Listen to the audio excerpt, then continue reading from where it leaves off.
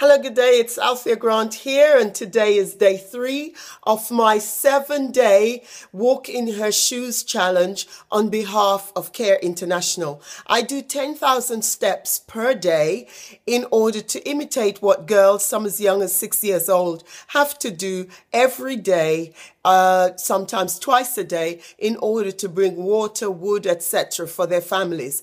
Now, this is because the rivers, the wells are far away from villages.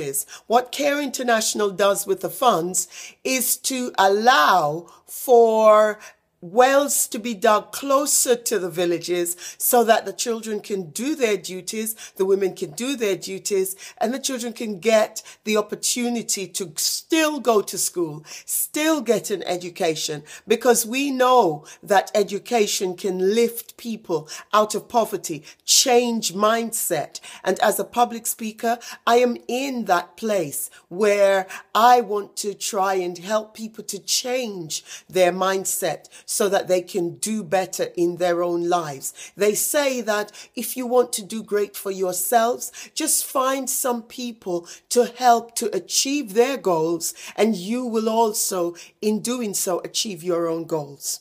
And one of the great sayings that I love is this, faith is the substance of things hoped for and the evidence of things not seen.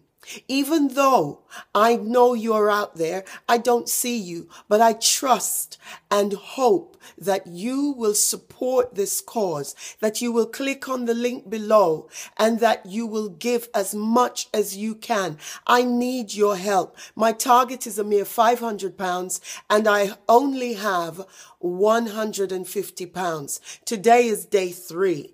I'm not going to give up because that's not who I am.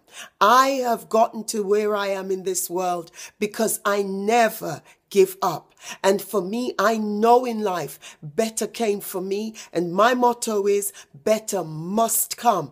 And if I have anything to do with it, better must come for women and girls in this world. We all share this planet, no matter what color, race, or creed.